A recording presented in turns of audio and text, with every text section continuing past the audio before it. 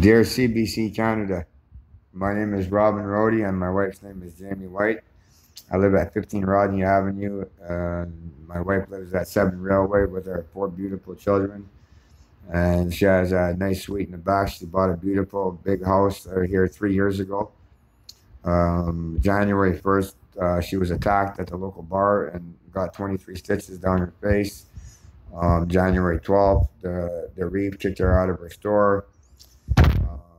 April 8th, they said that uh, she had uh, um, either opened a business uh, or get out of her building.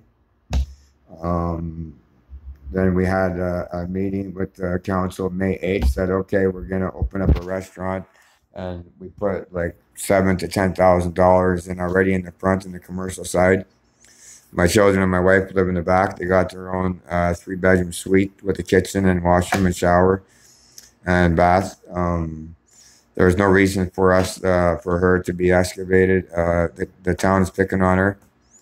I would really love for you guys to look at the emails that I sent you earlier uh, about the tax bill, the property assessment, the messages from the bylaw officers, and them really, really trying to um, extinguish my family.